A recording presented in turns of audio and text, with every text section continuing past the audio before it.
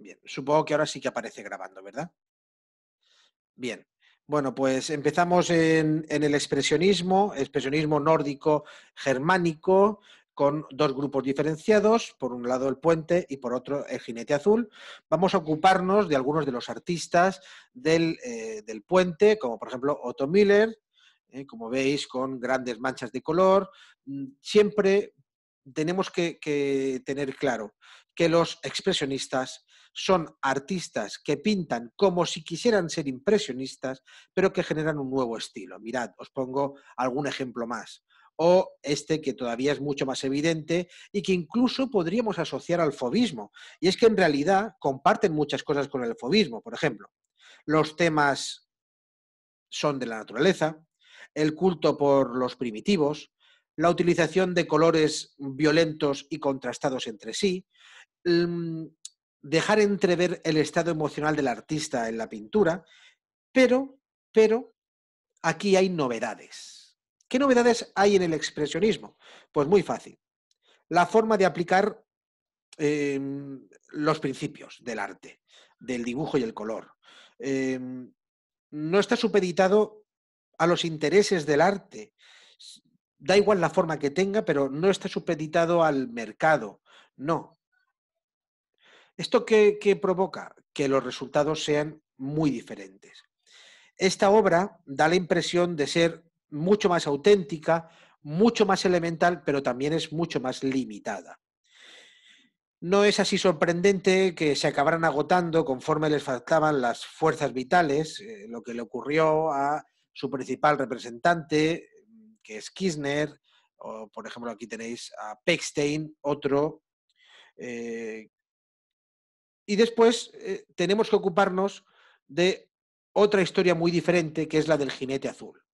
La del jinete azul, eh, que fue fundado en Múnich en 1911, eh, a resultas de un grupo anterior, tiene como protagonistas a Franz Marc, como veis, de estética y de apariencia muy distinta a lo que veíamos en el grupo del puente. También tenemos a August que quizá de aquí es donde van a beber algunos pintores posteriores, como René Magritte, al que veremos en su momento. Bueno, pues eh, Baviera en estos momentos es como por así decir la capital artística de Centro Europa. Es una, ¿Por qué? Pues porque tiene un ambiente menos cerrado, menos agónico que otras ciudades de ese momento. En la fundación de este grupo no hubo un programa o quizá una declaración de intenciones tan definidos como ocurriera en el puente, eh, sino que lo único que pretendían los artistas del jinete azul era organizar exposiciones sin que nadie les pusiera ningún impedimento. Em, este grupo, quizá a lo mejor por la falta de eh, organización, pues no tuvo la cohesión, ni siquiera la cohesión estética del puente, ni la formación intelectual de, sus miembros. Y bueno, pues tenemos que destacar el caso de Kandinsky, que pertenece al jinete azul, y también el caso de Mark. Pero bueno, el caso de Kandinsky es mm, muy significativo. Antes de dedicarse a la pintura, o mejor dicho, antes de que Kandinsky decidiera dedicarse a la pintura y de instalarse en, Múnich porque sabéis que era ruso, ¿eh? Eh, había renunciado a ocupar una cátedra de Derecho. Se trataba, eh, este Kandinsky, bueno, pues de un intelectual, amante de la música, le gustaban las matemáticas, las ciencias naturales, y el hecho de que cambiara el rumbo de su vida a los treinta y pico años resultó algo insólito. Por ello, tomaron a Kandinsky como la autoridad moral del grupo El Jinete Azul. Tanto Kandinsky como eh, Frank Mars, que lo tenéis por ahí, eh, Frank Mars, em, son artistas compenetrados entre sí, deciden formar este movimiento y bueno, pues eh, se dedican a hacer reproducciones de Picasso, de Matisse, de Van Gogh, de Cézanne, de, de Georges Delaunay, de Sonia Delaunay. Bueno, pues fue muy plausible su intención de reproducir obras de arte. A través de esas publicaciones que hacían los miembros del Jinete Azul, llamadas almanaques, nos encontramos con mm, sus obsesiones más particulares. Por ejemplo, en el caso de Kandinsky tuvo una preocupación importante con la relación entre las artes plásticas y la música. Pero también Frank Mars, que es el otro teórico del jinete azul, anduvo preocupado con lo primitivo y con todas las formas de creación.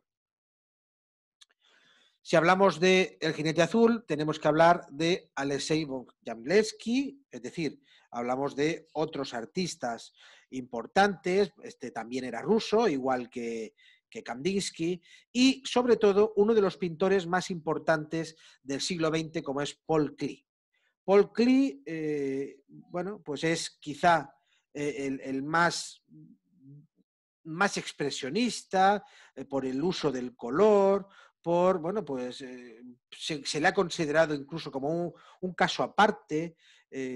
sus pinturas y además su literatura, porque dejó todo escrito en diarios, constituyen el mejor testimonio de la evolución creadora de este artista de vanguardia que podríamos considerar como decididamente genial.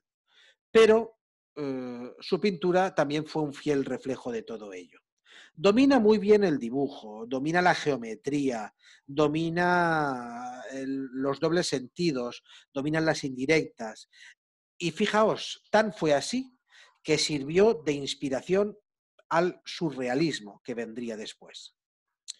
Este grupo del Jinete Azul se disuelve en 1916, eh, es el año de la muerte de Marc, eh, pero bueno, pues tiene por, vamos, como mérito tiene que eh, sus artistas y la pintura que se hace bajo la etiqueta del jinete azul sirve como pilar de la vanguardia del siglo XX. Al margen de los dos grupos, es decir, del puente y del jinete azul, bueno, pues eh, hubo otro, en este caso, la tempestad, la tempestad en donde tenemos que destacar eh, esta figura extraordinaria, la de Max Beckmann, em, cuyas inquietantes representaciones de la sociedad, como veis, con todo su sentido simbólico, alegórico, bueno, pues eh, resulta un punto incluso escalofriante. De Max Beckman encontraríais en Internet muchísimas eh, imágenes, sobre todo de violencia, que resultan muy inquietantes. Algo de ese mundo emerge en la obra de dos artistas posteriores, como son George Gross y Otto Dix, aunque, bueno, pues de, estos no voy a, voy a hablar porque, bueno, pues hay cosas que van a reclamar más la atención, como es el caso de Gustav Klimt. Klimt, y aquí lo tenéis, podríamos decir que se trata de eh, el, el crepúsculo, el crepúsculo del expresionismo con el grupo La Tempestad. Eh, tenemos más, como por ejemplo Kokoschka, pero bueno, mm, por el uso del color, por el fomento de la geometría, por la variedad de texturas, pues quizá Gustav Klimt viene a resumir muy bien pues, todas, estas, todas estas ideas que os estoy comentando. Hablemos ahora del constructivismo. El constructivismo, bueno, si el expresionismo lo centramos en el norte y el centro de Europa, el constructivismo lo tenemos que llevar a Rusia. Antes de la Revolución rusa, es decir, antes de 1917, Rusia vive, bueno, pues en medio de fuertes convulsiones que sirven como buen caldo de cultivo para la agitación artística de la vanguardia. Eh, tenemos que destacar varios artistas, como por ejemplo Vladimir Tallin, que se siente fascinado por el cubismo y por la manera de descomponer la realidad. Destacamos también a Antoine Pevsner con sus esculturas y a Naum Gabo. Todos ellos, todos ellos influidos también por el arte primitivo. Tan es así que se ha llegado a sugerir en muchas ocasiones que los volúmenes de esta cabeza son una reproducción casi literal de una máscara africana. Pero tenemos que ir un poco más allá, porque dentro del constructivismo nos tenemos que centrar en el suprematismo. Y dentro del suprematismo, en una gran figura, Casimir Malevich. Casimir Malevich, ruso, defiende un arte objetivo, eh, tan objetivo que pronto deriva hacia la abstracción total. Esa abstracción total está representada aquí, en el cuadrado blanco sobre fondo blanco, o lo que es lo mismo, la nada.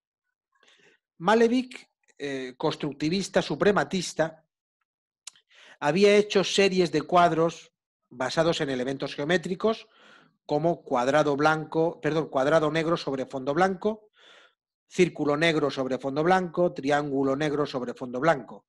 Pero, ¿qué ocurre? Perdonad que estáis eh, escribiendo por el chat alguna cosa. Ah, bien, nada, nada. Alguien ha dicho buenas tardes. Bien, nada. Eh, digo, pero ¿qué, ¿qué ocurre? Que Malevich pensó en variar el color y en vez, de, hacer un cuadrado negro, un cuadrado blanco sobre un fondo blanco, con tonalidades diferentes, como estáis viendo en la imagen. Al final, ¿qué se había representado? Se había representado la nada. Es decir, esto es una vanguardia rusa, el suprematismo, unida al constructivismo, bueno, pues que eh, está en esos primeros momentos del régimen soviético, eh, que posteriormente serían silenciados por el mismo régimen, con artistas de la talla de este Casimir Malevich. Podéis eh, decir, bueno, pero aquí el artista quiso representar la nada o es una interpretación que se ha hecho por parte de la crítica o por parte de las galerías, porque las galerías en estos momentos ya tienen mucha importancia. Son las que compran, las que venden, las que mueven el dinero. Bueno, tenéis que tener en cuenta una cosa. A partir del siglo XIX, la valoración y consideración de un artista depende de la crítica, sí, pero hay una ciencia, hay una disciplina que es específica y que va a ayudarnos a comprender las pinturas creadas a partir del siglo XIX que se denomina estética, o en otras palabras, la filosofía del arte. No es tanto la forma como lo que el artista pretende que se represente. En este caso es la nada. Claro, pensad, un cuadrado blanco sobre un fondo blanco es nada, porque es, aún aún el cuadrado negro sobre fondo blanco era interpretado como un cuadrado negro. Se veía que era un cubo, pero aquí no. Aquí se ve todo blanco, aunque sea tonalidades diferentes, sí, pero es todo blanco. Por último, dentro del suprematismo, os quiero hablar del neoplasticismo, que, bueno, pues tiene entre sus mm, más importantes representantes a Pierre Mondrian. Pierre Mondrian es un artista muy completo, muy completo que evoluciona desde el cubismo a una abstracción geométrica, como veis aquí, de eh, absoluto rigor. Eh, este movimiento, el neoplasticismo, está fundado por. Ay, perdón. Está fundado por Mondrian, que sabéis que era un pintor holandés, eh, lo funda con Theo van Desburg eh, cuando publican una revista, la revista Textil, que bueno, pues se convierte, como fue tónica habitual, pues se convierte en el órgano de, expresión del arte neoplástico, que, como veis, basa eh, su arte en el uso de formas geométricas regulares y en los tres colores primarios, más el negro, el blanco y en ocasiones el gris. Bien, hablemos del dadaísmo en este momento. Bien, el dadaísmo. El dadaísmo tiene varios, mm, varios representantes. Los encontramos en Suiza, los encontramos en España, eh, también los encontramos en Estados Unidos de América, los encontramos en Alemania, en Francia, y bueno, pues influidos por, eh, por Nietzsche y por la filosofía nihilista, llegan a la idea de destruir el arte. Estos eh, dadaístas eh, fundan su movimiento a través de un manifiesto en, en, Zúrich en 1916 y bueno, pues em, al principio realizaban sesiones cómicas, sesiones grotescas, para ridiculizar todos los valores del ser humano. Sus protagonistas eran jóvenes que habían escapado de la Primera Guerra Mundial, como por ejemplo el alemán Hugo Ball, aquí lo veis vestido de mago de Oz, o por ejemplo también el alemán Richard Hönselbeck, con diferentes estilos, con collage, con diferentes materiales dentro de su producción. También forma parte de este momento el alemán Hans Arp, que reduce a la mínima, es decir, por eso os decía que estaban tan influenciados por el nihilismo de Nietzsche, reduce al mínimo, no deja en nada, deja en nada la figura humana. Eh, después, bueno, este Hans Arp después eh, cambiará y ya no usará su nombre alemán Hans, sino que se hará francés y llamará Jean Arp. Pero luego tenemos, por ejemplo, mm, dos artistas rumanos como Tristan Tzara o, por ejemplo, Marcel Janko. Esto en cuanto a Europa, pero ¿Qué ocurre con respecto a Estados Unidos de América, cuya capital del arte ya estaba siendo Nueva York? Bueno, pues hay artistas que igualmente huyen de la Primera Guerra Mundial, como Francis Picabia, confundido con Dalí en algunas de sus obras, o Marcel Duchamp y su, su célebre fuente, que no es más que un urinario al que le da la vuelta. Marcel Duchamp es el autor de lo que se denomina como eh, ready-made o eh, objetos prefabricados. Por ejemplo, objetos prefabricados que mm, añadiéndoles o quitándoles parte de sus componentes pierden su uso y además no servirían para ninguno otro. Es el caso, por ejemplo, de la célebre plancha de Marcel Duchamp a la que se le habían aplicado unos clavos. Pues ese objeto es inservible, pero esa intervención, esa actuación entre objetos que ya existen, entre esos ready-made que digo, eh, es precisamente la aportación que hacen los dadaístas a la historia del arte. Bien, el dadaísmo tuvo mm, dos plataformas relevantes. La más amplia fue la alemana, eh, que bueno, pues después de la Primera Guerra Mundial había ahí un ambiente agitado eh, que parecía que estaba demandando producir arte, eh, con tres centros en Berlín, en Colonia y en Hannover, en la que participaron, pues, como por ejemplo, mm, miembros como Arthur Cravan, o Man Ray, es decir, hay un montón, os podría hablar de un montón de, dadaístas, pero realmente, ¿qué significó el dadaísmo? Bueno, pues Tristan Tzara, el poeta rumano que también era pintor y que os acabo de exponer, eh, dice, Dada no significa nada. Es por ello por lo que se muestran herederos de la filosofía de Nietzsche eh, y además hacen, eh, la llevan a gala.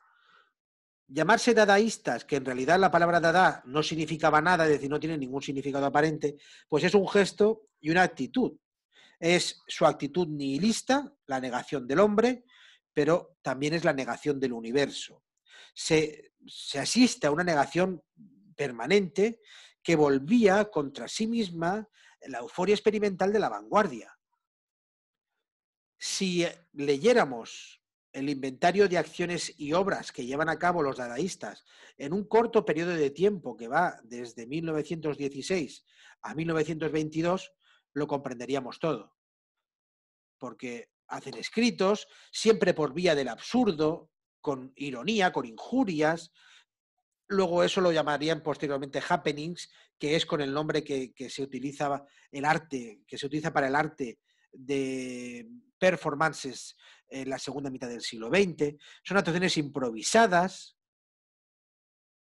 Bueno, pero no se puede llegar mucho más allá de lo que hicieron los dadaístas, porque cualquier cosa se podía presentar como algo artístico. Fijaos, un urinario o la plancha del mismo autor.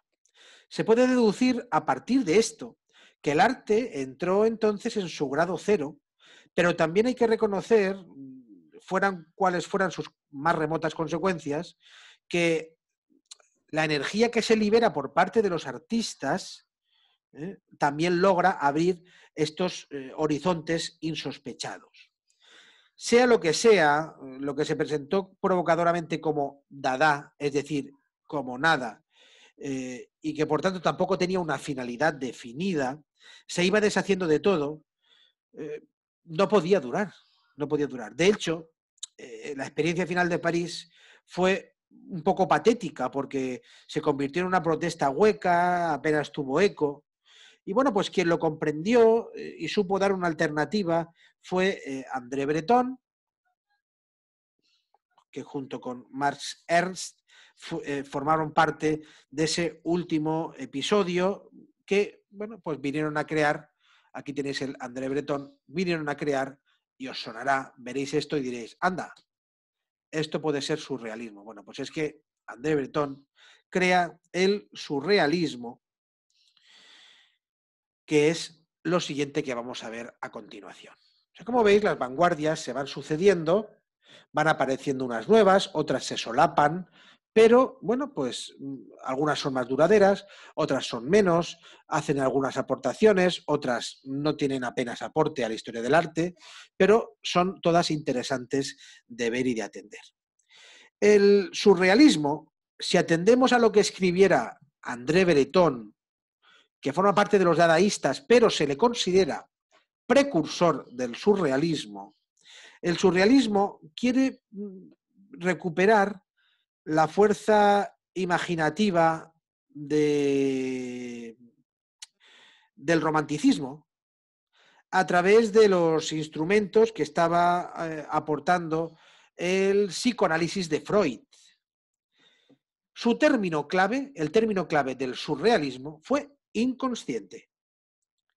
Su método se basaba en la escritura automática, que era una manera de impedir que se distorsionara el mensaje del inconsciente, y su fin último, eh, su objeto postrer, sería la revolución, porque a diferencia de los dadaístas, estos surrealistas pensaban que una vez que se alcanzara la revolución, se podría producir la realización social del arte, que a fin de cuentas no había buscado otra cosa que la liberalización del hombre, incluso más allá de los límites represivos de la razón.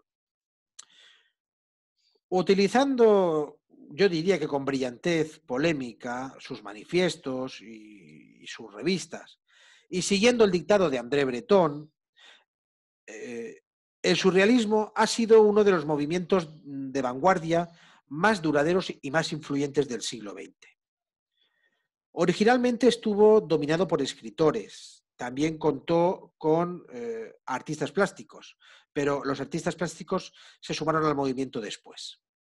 En todo caso, que el arranque inicial del surrealismo se hiciera a través de literatura explica la total ausencia de un código o fórmula plástica. De hecho, eh, una de las primeras discusiones que hubo entre sus fundadores fue la de determinar si se podía hacer una obra plástica surrealista, lo cual, dado ese método que os he comentado de la escritura automática, no era fácil, ya que el pintor, por más que trata de inspirarse en el inconsciente, tiene comparativamente mayores meditaciones materiales para trasladar de forma directa y espontánea al lienzo esos impulsos y revelaciones del inconsciente tenemos que distinguir dos etapas del surrealismo, años 20 y años 30. En la primera, en la de los años 20, el lenguaje artístico mm, bordea la abstracción, como por ejemplo con Joan Miró. Con Joan Miró y con André Masson. Bordea la abstracción, aquí está clarísimo que hay una corrida de toros, lo veis clarísimo, mirad el toro, mirad el torero, mirad el caballo, mirad el picador, mirad el ruedo, mirad la gente, está clarísimo, pero Miró se muestra mucho más abstracto. Al tocar la abstracción casi casi de manera directa, se restan se resta la figuración. Pero la figuración resultaba clave para los mensajes simbólicos que se quisieran expresar. Miró estuvo vinculado a la cultura telúrica, al mundo rural, y despliega siempre eh, en sus cuadros signos, símbolos de la tradición campesina, los dota además de una sugestiva fuerza poética. En cambio, André Masson desarrolla, como veis, un grafismo mucho más violento, lleno de notas agudas, muy dinámicas, son escenas rituales o de sacrificio, como es esta tauromaquia, pero sacrificio entendido como una orgía, como una lucha. En la segunda etapa se impone la teoría de la espontánea carga inconsciente que existe en la mirada del ser humano, a la que no hay que forzar con ningún método para que revele su fuerza delirante. Esto significa que cualquier imagen aportaba datos reveladores y que, por lo tanto, no había que molestarse en deformarla, son representantes de la segunda etapa Salvador Dalí y René Magritte, que además se constituyen en las dos figuras capitales de la historia del arte de los años 30 del siglo XX. El catalán Salvador Dalí, que ya había demostrado inquietudes, bueno, aquí tenéis su famoso Cristo de San Juan de la Cruz, había demostrado inquietudes, como decía, tras su paso por la residencia de estudiantes de Madrid, donde conoce a Lorca y a Buñuel. Dalí eh, no se integra al principio en el movimiento surrealista. Dalí pensaba eh, que, bueno, cerca de las teorías de la paranoia del psicoanalista Lacan, Dalí pensaba que cuando, bueno, eh, cuando se miran las nubes o cualquier otro objeto del paisaje de una manera distraída, se pueden reconocer figuras fantásticas. Y por esto no había que molestarse en pintar automáticamente o con otra técnica diferente de la convencional del realismo. Por ello opta por el realismo. La cuestión para Salvador Dalí era pintar sus propias visiones y obsesiones con todo detalle y precisión. Magritte, como veis aquí, compone imágenes convencionales con un sentido metafórico, logrando crear de inmediato la sorpresa en el espectador con obras como la que veis, o con obras como esta no es una pipa, cuando representa una pipa, o con un retrato de la Gioconda, cuyas iniciales en francés en la, en la parte inferior decían, ella tiene calor en el culo. En realidad, el surrealismo artístico no tiene ninguna técnica precisa, sino que busca efectos de estimulación de la parte oculta de la mente. En este sentido, la mayor parte de los artistas surrealistas derivaron hacia un lenguaje figurativo realista, aunque, bueno, pues siguieron experimentando. Eh, tenemos más artistas surrealistas, eh, pero bueno, hay que, hay que seguir avanzando. Nuestro siguiente capítulo, dentro de las otras corrientes europeas, será, por ejemplo, esta Escuela de París. La Escuela de París. Es importante que la tengamos en cuenta. La Escuela de París, que se contrapone a la Escuela de, de Nueva York, ¿eh?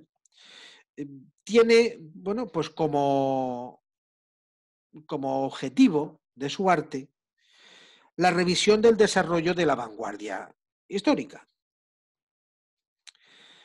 Aunque el lenguaje fuese vanguardista, se pretende volver al origen y a la pureza del arte.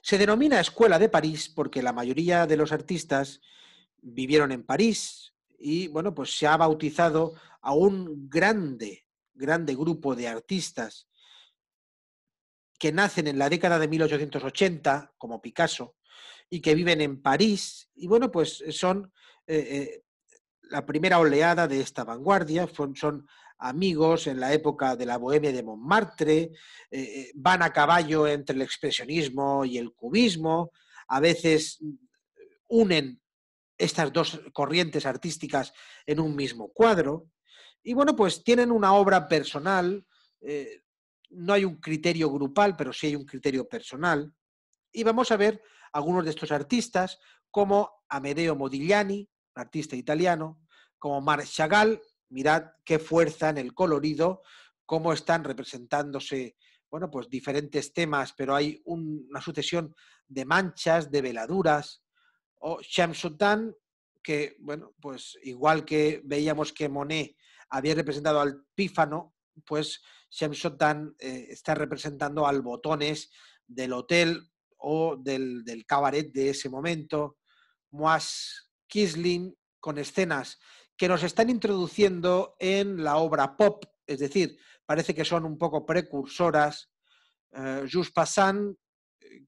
que quizá entronca más con el expresionismo que veíamos antes, o la pintora, y esto sí que resulta eh, de mucho interés, la pintora Marie Gloansan, que bueno, pues se muestra impresionista, pero un punto cubista en el fondo y en los elementos que adornan a, esta muchacha.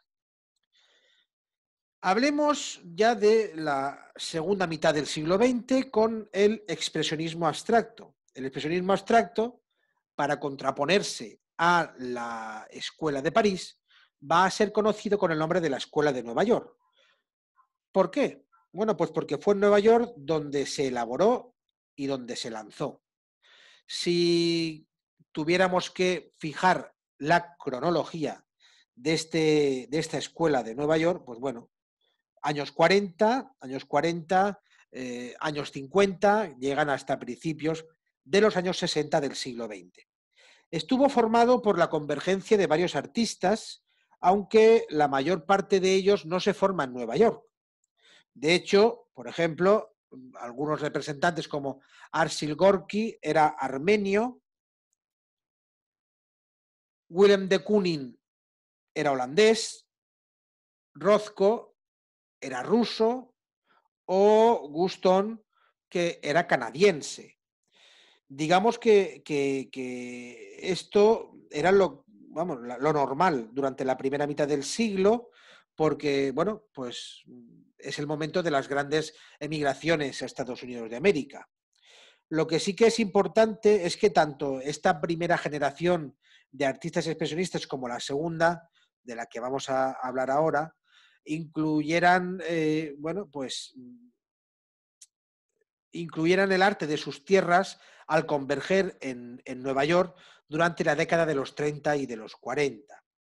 Se educaron en, todos ellos en escuelas de arte, vivieron influencias similares, comparten ideas culturales comunes y bueno, pues les toca experimentar bueno, pues circunstancias muy similares. Vamos a ver la segunda jornada con obras como Jackson Pollock, como Franz Klein. Veis que aquí ya esto está ya plenamente en la abstracción, como William Bachiotes, Adolf Gottlieb, Clifford Steele o Barnett Neumann. Bueno, por último os hablaría de Ad Reidenhardt, que, como veis, bueno, pues todo es abstracción geométrica. Tenemos que hablar, bueno, pues desde un punto de vista técnico, y es que eh, este expresionismo abstracto del cual os estoy hablando, pues es el resultado de un uso innovador del automatismo que ya reivindicaban los surrealistas en su primera etapa, pero ahora se va a denominar action painting o pintura de acción lo que unido al uso de grandes formatos bueno, pues eh, a los que se había unido mm, también esta, esta costumbre de los pintores americanos, porque eh, con sus obras decoran los edificios públicos. Es el precedente más inmediato de los muralistas mexicanos.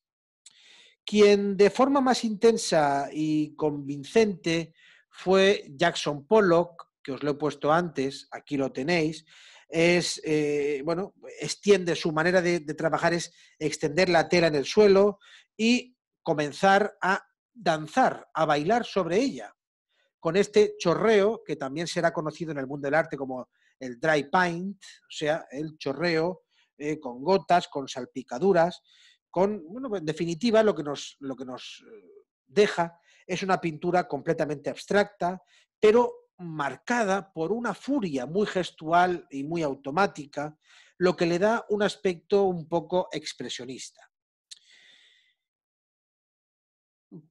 Por otra parte, eh, como, como, una pintura gestual que es, el tiempo de ejecución se convierte en un nuevo elemento básico que aporta una dimensión dramática.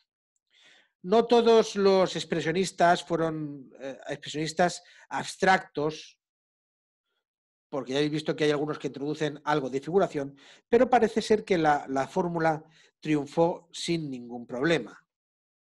Y os sigo hablando. Y ahora nos ocuparíamos del informalismo. Y ya con esto, bueno, pues afrontamos la última parte de la clase aunque queden unos minutos, pero la última parte, eh, porque no he querido tampoco, eh, bueno, pues ver mm, demasiadas cosas, sino que he preferido escoger un artista y una obra representativa de cada artista para que tuvierais una idea panorámica y global.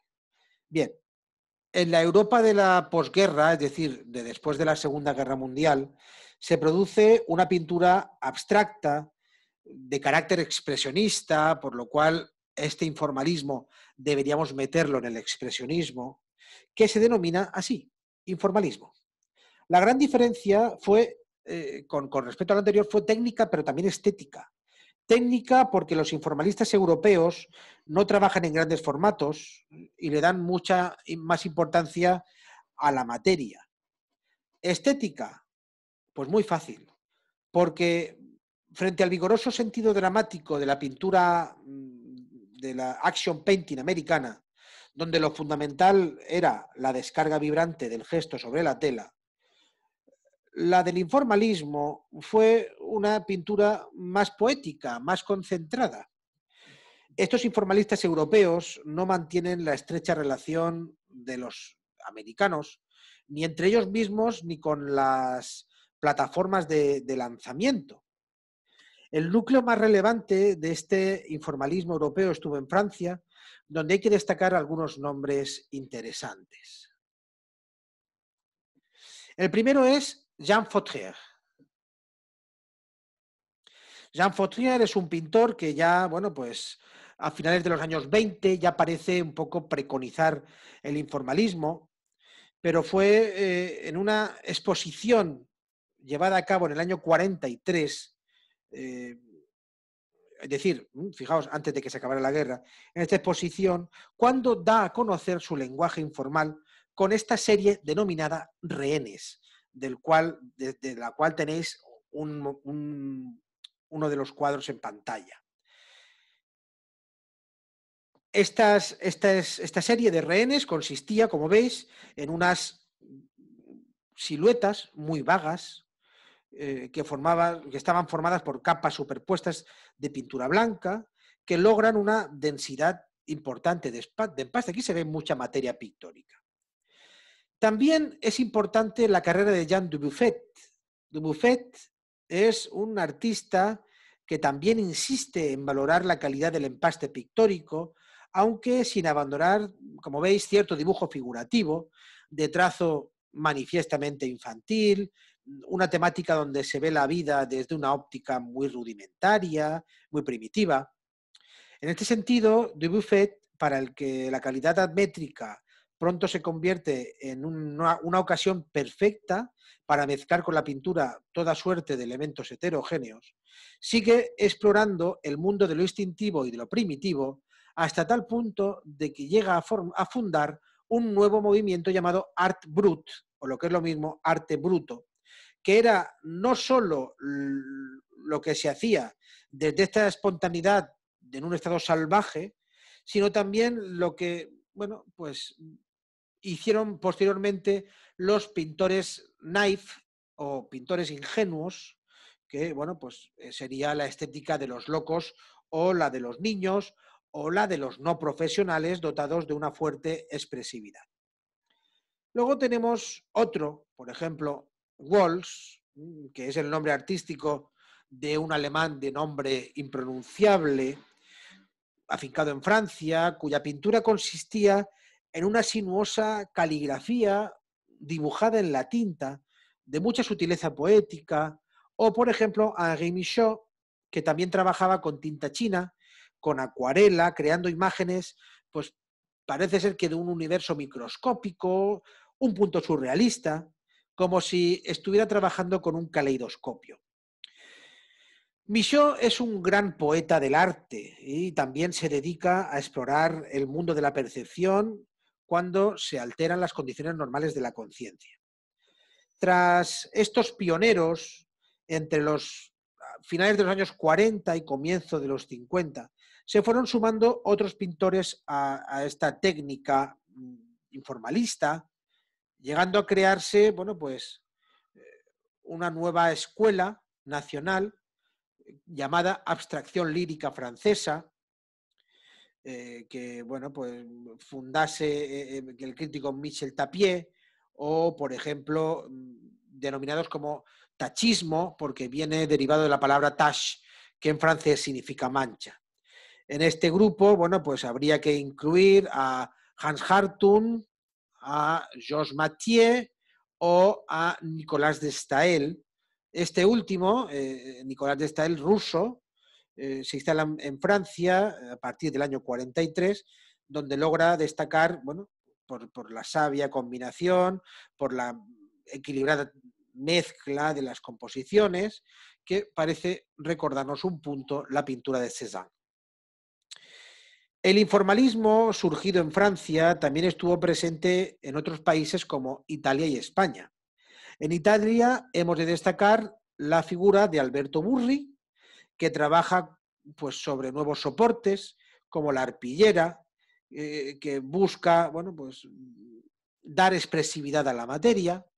Y en España tenemos que hablar de Antoni Tapies, que es informalista, pero ahora, eh, bueno, tanto Antoni Tapies como eh, Antonio Saura y como eh, Manuel Millares se van a autodenominar a sí mismos informalistas matéricos, porque les interesa mucho más la materia.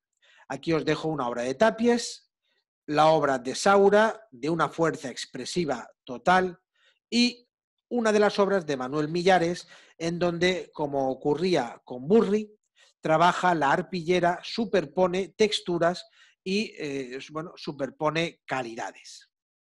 Bien, y con la obra de Manuel Millares acabamos nuestra sesión de las vanguardias.